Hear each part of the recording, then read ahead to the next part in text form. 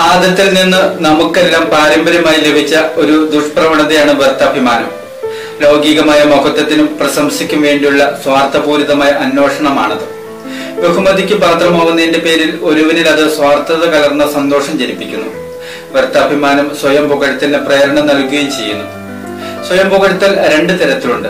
പാവാത്മകവും നിഷേധാത്മകവും. ആദ്യത്തേത് സ്വന്തം നേട്ടങ്ങൾ കുടുംബ ബന്ധങ്ങൾ യോഗ്യതകൾ തൊഴിൽ എന്നിവയെപ്പറ്റി വർണിക്കാൻ ഒരുവനെ പ്രേരിപ്പിക്കുന്നു. നിഷേധാത്മകമായ ആത്മശ്ലാഘനമാവട്ടെ സ്വന്തം ന്യൂനതകളിലേക്കും പരാജയങ്ങളിലേക്കും അനർഹമാവിധം ശ്രദ്ധ ക്ഷണിക്കാനാണ് ഒരുവിന് പ്രചോദനം നൽകുന്നത്. ഇത് ബാഹ്യമായി സ്വയം ഇകഴത്തിലായി തോന്നാമെങ്കിലും യഥാർത്ഥത്തിൽ സ്വയം പുകഴ്ത്തൽ തന്നെയാണ്. ചൂണ്ടയോടുകൂടിയ ഇളമ എന്ന് ഇതിനെ വിളിക്കാം. കാരണം ഇത്തരം എളിമ പ്രശംസ പിടിച്ചെടുക്കാനുള്ള ചൂണ്ടയാണ്. പ്രശംസിക്കപ്പെടാനുള്ള ആഗ്രഹമാണ് വ്യർത്ഥാഭിമാനത്തിന്റെ അന്തസത്ത. കൗശല പ്രയോഗങ്ങളിലൂടെ ഉയർന്ന പദവികൾ നേടാൻ അത് ഒരുവനെ പ്രലോഭിപ്പിക്കുന്നു.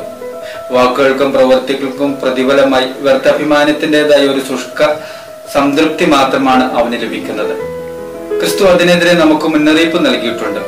മനുഷ്യർ കാണുന്നതിന് വേണ്ടി അവരുടെ മുൻപിൽ നന്മ പരിശീലിക്കാതിരിക്കാൻ സൂക്ഷിച്ചു സൂക്ഷിച്ചുകൊള്ളി എന്നാൽ അപ്പോൾ നിങ്ങൾക്ക് സ്വർഗസ്നായ പിതാവിൽ നിന്ന് പ്രതിഫലം ലഭിക്കുകയില്ല.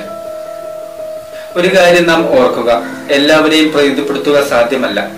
പ്രശംസയും നിന്ദനവും തുല്യ അളവിൽ നമുക്ക് ലഭിക്കുന്നു. ദൈവം നിങ്ങളെ സമർത്ഥമായി അനുഗ്രഹിക്കുന്നു